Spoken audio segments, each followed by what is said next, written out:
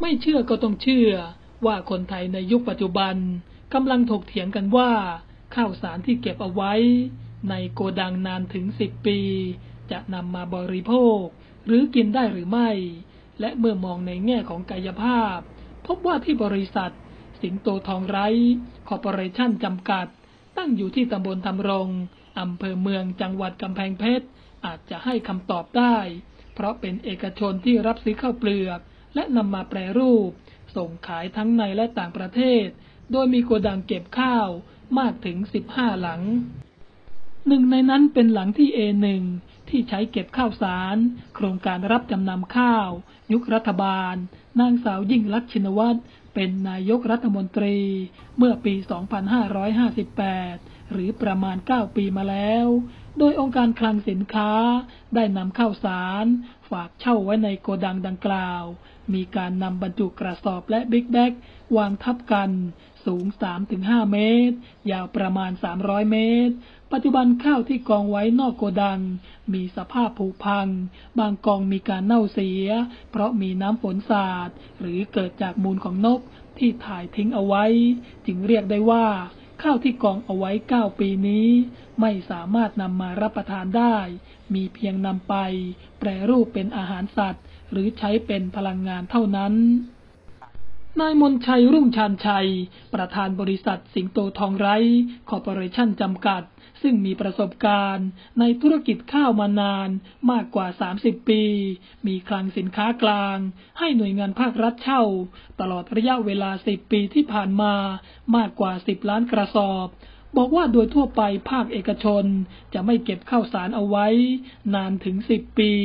มีเพียงให้หน่วยงานภาครัฐ ที่เช่าโกดังเก็บเป็นเวลานาน โดยในยุคของรัฐบาล นางสาวยิ่งลักษณ์ชินวัตรเป็นนายกรัฐมนตรี มีเวลาเก็บนาน10ปีเช่นกันกระนั้นข้าวทั้งหมดได้มีการประมูล และรับมอบกันไปหมดแล้ว เมื่อปีที่ผ่านมาดังนั้นคำถามที่ว่าข้าวที่เก็บไว้จะบริโภคได้หรือไม่ ตนในฐานะผู้ที่อยู่ในวงการข้าวมั่นใจว่า ถ้าเก็บรักษาในคลังสินค้าที่ได้มาตรฐาน มีอากาศถ่ายเทสะดวก มีการดูแลอย่างถูกต้อง เช่น รมยาทุกๆสองเดือนเป็นประจำ เมื่อนำข้าวออกมาใช้ จะต้องมีการปรับปรุงคุณภาพอีกครั้ง ด้วยการขัดสีใหม่ ก็จะนำมาบริโภคได้ แต่จะมีกลิ่นและสีแตกต่างออกไป ไม่เหมือนกับข้าวใหม่ทั่วไป ข้าวบางส่วนที่เสีย สามารถคัดแยกไปเป็นอาหารสัตว์ หรือทำเป็นพลังงานได้ด้วย นักธุรกิจข้าวบอกด้วยว่า อย่างไรก็ตาม กรณีโกดังข้าว A1 ทางองค์การคลังสินค้า ได้เช่าเก็บข้าวสาร เมื่อปี 2554 ถึง 2555 ต่อมาในปี 2558 เกิดเหตุไฟไหม้กองข้าว หลังจากไฟดับลง องค์การคลังสินค้าและผู้ที่เกี่ยวข้อง ได้เข้าไปตรวจสอบ และคัดแยกข้าวออกไปไว้นอกคลัง ปัจจุบันเป็นเวลา 9 ปีแล้ว องค์การคลังสินค้าไม่ได้เข้าไปดูแลกองข้าวที่เก็บเอาไว้เลยทำให้มีสภาพที่เสียหายดังกล่าว ขณะที่บริษัทเคยส่งหนังสือ แจ้งให้ทราบแล้วหลายครั้ง แต่ผู้บริหารองค์การคลังสินค้า ปฏิเสธว่าไม่ใช่ข้าวของภาครัฐทำให้ตนสงสัยว่า ถ้าไม่ใช่ข้าวขององค์การคลังสินค้า เหตุใดจึงมีการรับค่าสินไหมทดแทน จากบริษัทประกันไปแล้วกว่า 10 ล้านบาท กรณีที่ขณะนี้เป็นข้อถกเถียงกันนะครับ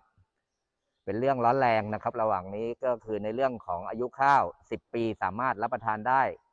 หรือไม่นั้นอย่างไรนะครับ ผมนายมนชัยลุงทันชัยนะครับ เจ้าของกิจการบริษัทในเครือสิงโตทองนะครับ ซึ่งมีคลังสินค้ากลางให้กับหน่วยงานภาครัฐเช่านะครับ มากกว่า 10 ล้านกระสอบในช่วง 10 ปีที่ผ่านมานะครับ ก็โดยโดยโดยโดย ปกติผู้ประกอบการเนี่ยโดยรวมก็ไม่เคยมีผู้ประกอบการรายใดที่จะนำข้าวสารมาเก็บไว้เป็นระยะเวลา 10 ปีนะครับ ก็จะมีเก็บให้กับภาครัฐ ซึ่งพวกเราผู้ประกอบการก็จะให้ภาครัฐเช่าคลังสินค้า เก็บข้าวสารในช่วงรัฐบาลสมัยท่านนายกยิ่งรักนะครับ ก็สิบสิบปีที่ผ่านมาก็มีข้าวกรณีเก็บไว้ไว้นาน ถึง 10 ปีเช่นกันนะครับแต่ขณะนี้ได้มีผู้ประกอบการมาประมูลข้าวรับมอบไปแล้วไปหมดแล้วนะครับ เมื่ออปีที่ผ่านมานะครับ ซึ่งข้าวระยะเวลาในการจัดเก็บนานเท่าไหร่ถึงจะเสียหรือถึงจะรับประทานได้นั้นผมในฐานะผู้ประกอบการที่อยู่ในวงการข้าวมานะครับ ก็มีความมั่นใจว่าถ้าเราเก็บรักษาข้าว ในคลังสินค้าที่มาตรฐานนะครับ มีอากาศไทยเทสะดวก พร้อมทั้งกับมีวิธีการดูแลรักษาอย่างถูกต้อง เช่น มีการลมยาทุกๆสองเดือน เป็นประจำนะครับ เมื่อเรานำข้าวที่เก็บระยะเวลานาน มาใช้ ก็จะต้องทำการปรับปรุงคุณภาพข้าวสาร โดยขัดสีใหม่นะครับ แล้วอันนี้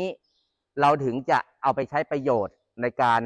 อ่า รับประทานได้นะครับ ซึ่งข้าวตัวนี้จะมีกลิ่นนะครับ แล้วก็มีสีที่แตกต่างไปจากข้าวใหม่ แต่สามารถรับประทานได้นะครับ เมื่อเรานำมาปรับปรุงขัดสีใหม่แล้วนะครับ แต่บางบางบางบางกลุ่ม บางประเทศ ก็จะนิยมเป็นข้าวใหม่อย่างเดียว ซึ่งเขารับไม่ได้กับกลิ่นที่กลิ่นเก่าที่เหม็นสาบนะครับ อย่างพวกเราก็ใช่ คนไทยเราเนี่ยก็รับประทานข้าวเก่าหมดนะแต่มันเก่าแค่สองปีถึงสามปีนะไม่เกิน เพราะมันจะหุงขึ้นหม้อมาก แต่ในระยะเวลาสิบปีที่เก็บเนี่ยผู้ประกอบการในประเทศเนี่ยมันไม่มีใครเคยเก็บนะครับ เพราะเป็นผู้ประกอบการจะต้องหมุนเวียนสินค้าตลอด ก็จะมีข้าวโดยเฉพาะสต็อกของรัฐบาลเท่านั้น ที่มีระยะเวลาเก็บถึง10ปีนะครับ ก็ก็เป็นความรู้ภายในของของผู้ประกอบการนะครับ ที่แสดงความคิดเห็นว่า ข้าวระยะเวลาที่เก็บนาน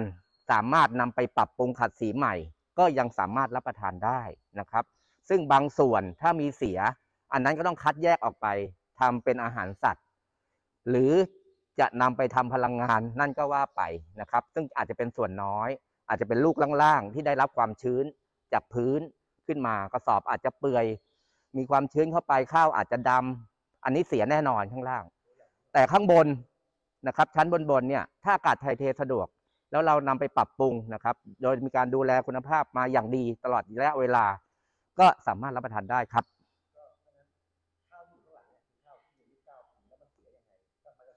ส่วน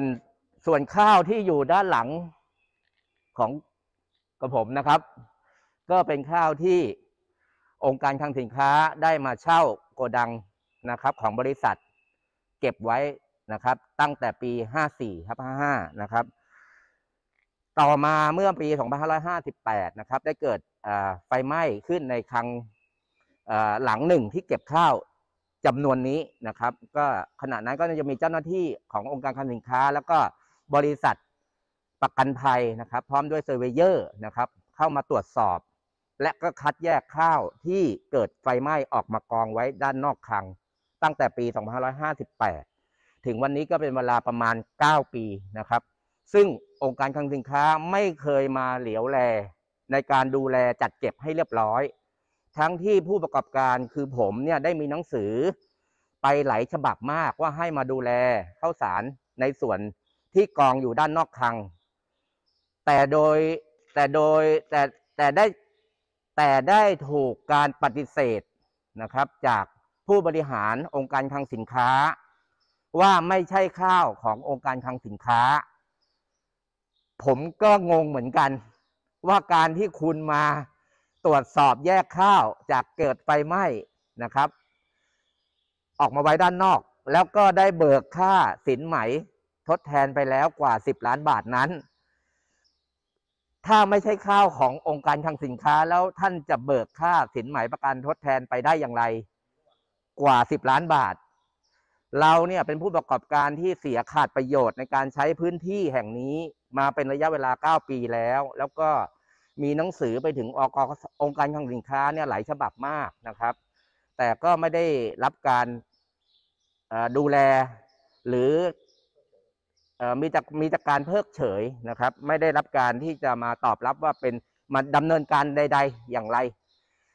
ขณะนี้ ก็ได้ ยื่นหนังสือนะครับ ไปให้ท่าน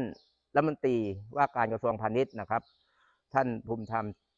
เวชยชัยนะครับ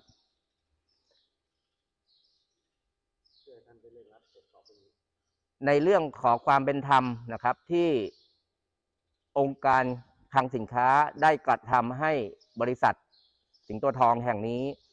ได้รับความเสียหายและขาดประโยชน์ในการใช้พื้นที่ มาอย่างยาวนานเป็นเวลาถึง 9 ปีนะครับ